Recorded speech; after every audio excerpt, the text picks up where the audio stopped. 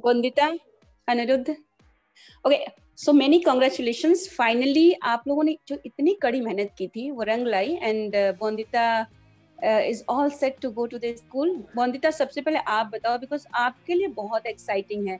अनिरुद्ध के लिए तो वो एक uh, कड़ी मेहनत थी बट uh, आपका सपना सच हो गया स्कूल जाने का। So tell me about that मुझे तो बहुत अच्छा लग रहा है। मेरा भी सपना हम्म। सच हो गया और भैया पति बाबू हाँ. का भी हो गया। तो अब मतलब मैं बहुत खुश हूँ।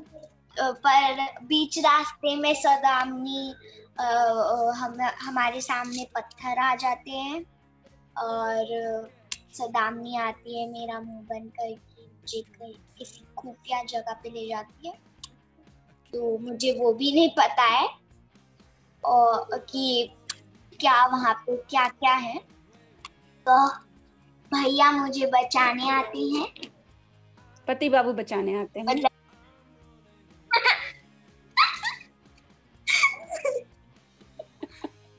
so cute it is.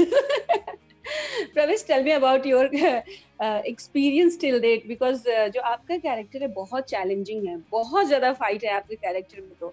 So so, कैसा रहा आपका अब तक uh, पूरा experience it's been a beautiful experience तो कैरेक्टर के लिए फाइट्स ये है कि जिस दौर में ये कैरेक्टर जी रहा था ये हम्म। उस उस दौर से काफ़ी आगे की सोच रखता था। इसीलिए लोगों को समझाना उस बदलाव को समाज में लाना ये उसके लिए चैलेंजिंग हो हो गया था हो रहा है जो दिख रहा है अभी। एंड आई फील ऐसे ही लोग रहे होंगे उस जमाने में जिनकी बदौलत हम आज जो ज़िंदगी जी पा रहे हैं हम जी रहे हैं। एंड फाइनली सीरियल में uh, ऐसा मैं मैं रेगुलर देखती हूँ serial I must tell you और डे वन से देखती हूँ। सो so, मुझे एक एक सीन पता है शो का। और हाँ, मैंने कोई रिसर्च नहीं किया है बट फिर भी मैं सब बता सकती हूँ इट्स लाइक दैट सो मैं डेली देखती हूँ। सो so, आपका जो उस कैरेक्टर का स्ट्रगल है फाइनली रंग लाया है एंड बॉन्दिता को आप स्कूल uh, uh, भेजने में सक्षम हो चुके हैं। So tell me about that how as a Anirudh कैसा फील कर रहे हैं? Uh, जो बहुत बड़ी जंग आपने जीत ली है। बेहद ज़्यादा खुशी है। खुशी है इस बात की कि पहली बार पहली बात तो कि ये अपॉर्चुनिटी मिल गई स्कूल जाने की। हम्म। दूसरी बात ये कि उस कड़ी मेहनत को करके ही वो अपॉर्चुनिटी कमाई है। मतलब वो अपॉर्चुनिटी हम्म। सिर्फ़ मिली नहीं है उसे कमाया है बहुत मेहनत करके। ग्रीनवुड और सौदामनी से जीत कर उन्हें मात देकर ये अपॉर्चुनिटी मिली है। तो ये मतलब दो जीत एक साथ है। पहली जीत जो स्कूल जाने जाने का मौका मिला और दूसरी जीत जो सबसे ज़्यादा अहम जीत है, जो हरा कर जाने का मौका मिला। अच्छा।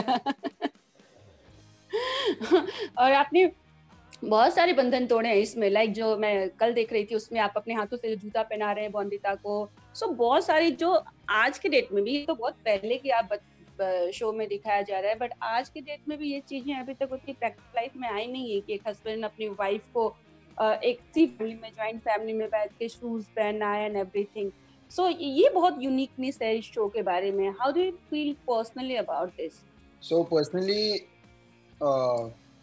I have seen my father like making my mother uh, wear the sandal.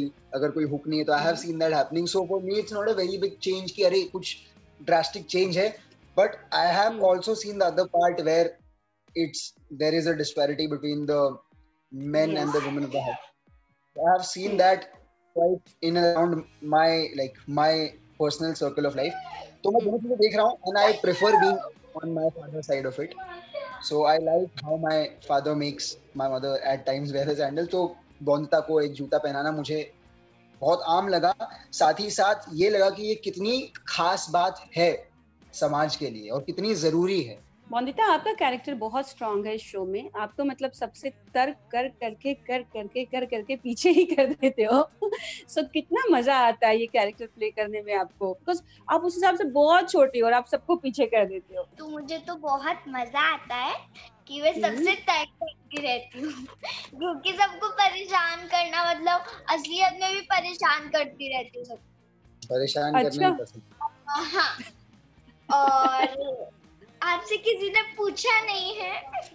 हाँ तो मैं परेशान करती रहती तो मुझे उसमें भी परेशान करना बड़ा अच्छा लगता है। तो वैसे भी सर उसको मतलब बहुत पैसा बना देते हैं। मज़ाक अच्छा, अच्छा. तो तो भी मज़ा ही आ जाता है। और आपका कॉस्ट्यूम बहुत इंटरेस्टिंग है। साड़ी पहनने में कितना मज़ा आता है। आप स्पेशली एक बिंदी भी लगाती हैं। अभी खुद से प्रैक्टिस हो गई है कि अभी भी पहनाना पड़ता है? अभी तो खुद से प्रैक्टिस हो गई तो फिर मैं अपने आप ही पहनती रहती हूँ। तो बोलते वहाँ पे पिन नहीं लगाना है। क्योंकि अच्छा।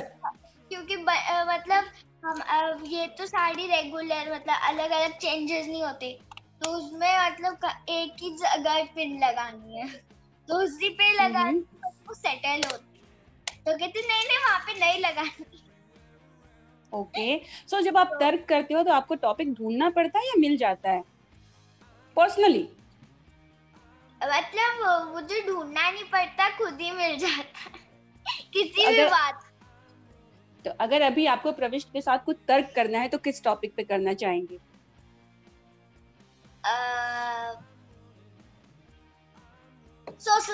सॉरी क्या? हाँ सोलर सिस्टम चलिए करके दिखाइए थोड़ा सा।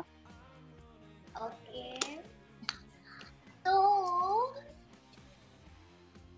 सोलर सिस्टम कैसे बना? कैसे बना? हम्म। यूनिवर्स पूरा कैसे? ये तो बड़ा डीप और कॉम्प्लेक्स सवाल पूछा है इसने। पर जब पूछा है तो जवाब दे ही देते हैं। हम्म। जितना समझो मैं समझाने की कोशिश करूँगा समझ लेना। मैं समझ जाऊँगी बट भगवान जी ये सब मुझे भगवान जी। ये सब नहीं चाहिए। में मुझे नहीं चाहिए। इस बात में मुझे असलियत का चाहिए। बताता हूँ। तो हाँ। जैसे एटम होता है ना हर हर केमिकल का एक एटम होता है हाइड्रोजन का एटम ऑक्सीजन के एटम पर ये भी कैसे बने? तो बता रहा हूँ। तो ये जब हाइड्रोजन हीलियम के एटम्स जब इलेक्ट्रॉन्स और प्रोटॉन्स मिले तो एटम बने। ठीक है? और जब उनका आपस में कोलिजन हुआ जैसे दो बॉल आपस में टकराते हैं तो फोर्स जनरेट होता है ना। जैसे हीलियम और हाइड्रोजन एटम्स का जब कोलिजन हुआ उस कोलिजन से बहुत सारा हीट जनरेट हुआ। जैसे अभी हम लोग अपने हाथ रब करते हैं ना। हाँ, गर्म हुआ? हाथ हाँ हुआ। हाँ तो ऐसे अलता निकलना ये तो खैर। जब कोलिजन हुआ तो बहुत हीट जनरेट हुआ उस हीट से सन बना। और वैसे ही बहुत सारे एटम से बिग बैंग थ्योरी एक है जिसके कारण बहुत सारे प्लैनेट बने।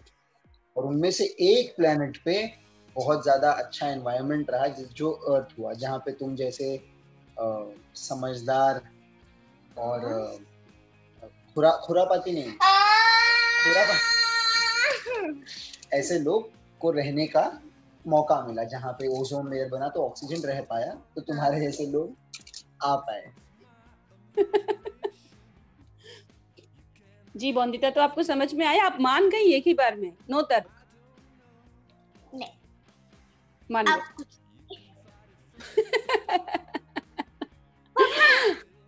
और सारे ग्रह पे क्यों नहीं बना ये एनवायरनमेंट वाह तो जवाब देता हूँ क्योंकि अर्थ ही एक ऐसा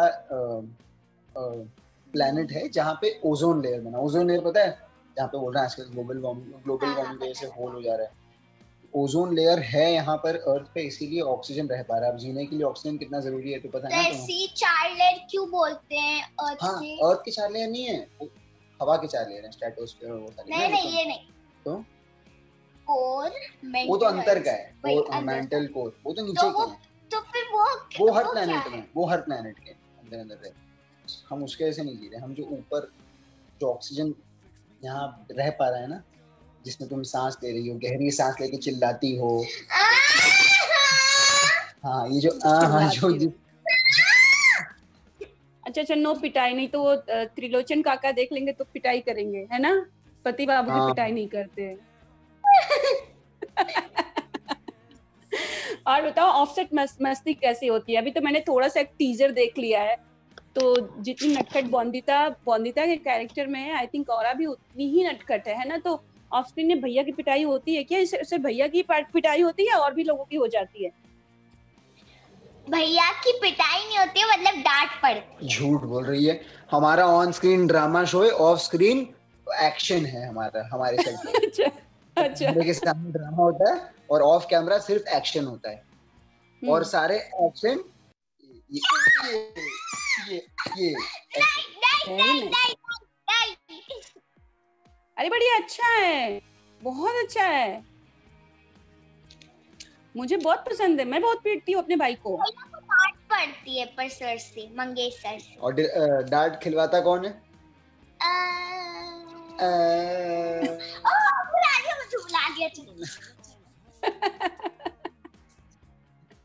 ओके अभी आगे की स्टोरी काफ़ी इंटरेस्टिंग होने वाली है। जैसे बॉन्डि- बॉन्दिता तो किडनैप हो ही गई है। बट एक बहुत बड़ा रास्ता है जिसे पार करके अगर मैं गलत नहीं हूँ तो बैरिस्टर बाबू का जो मेन टाइटल है, वो मैच होगा। So tell me about that किस तरह से जाने वाली है स्टोरी क्या क्या होने वाला है आगे आने वाले एपिसोड्स में? स्टोरी यही कि अब बॉन्दिता स्कूल जाएगी स्कूल जाने का सफ़र शुरू ही हुआ है कि सौदामिनी आकर उसे किडनैप कर हम्म। लेती है। किडनैप करके पता नहीं किस खुफिया जगह पर छुपाती है जहाँ पर शायद बॉन्दिता की ज़िंदगी को खतरा है। और मुझे पता भी अनिरुद्ध को पता भी नहीं कि कहाँ है वो। मुझे हम्म। ढूंढना है पता करना है किसी भी हाल में बॉन्दिता को बचाना है ताकि वो स्कूल जा पाए फिर से। अच्छा। बॉन्दिता कितनी कड़ी मेहनत हो रही है? अच्छा पर्सनल लाइफ में कितनी पढ़ाई कर लेती है बॉन्दिता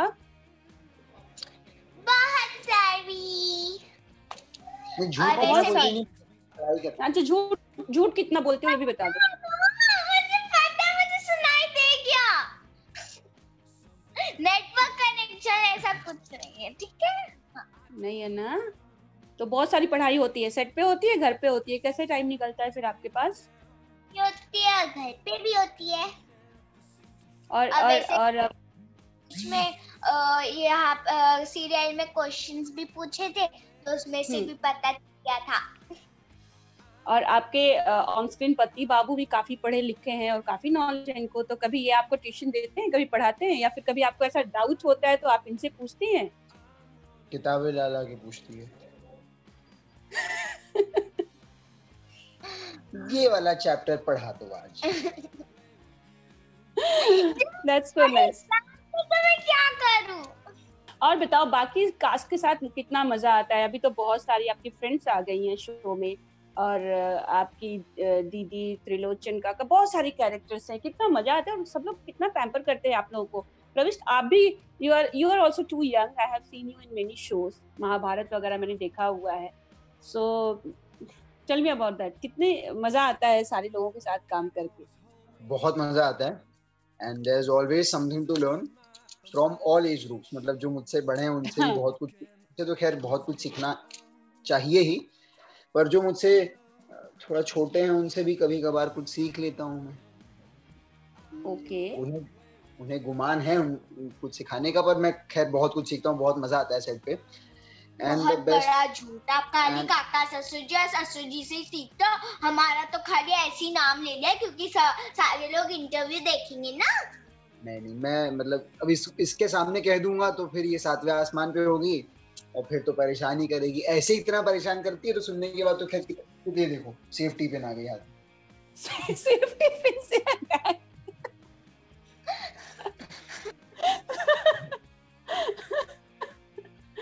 मतलब बोंदिता सच में खतरनाक है पंगा नहीं लेने का बोंदिता से है ना?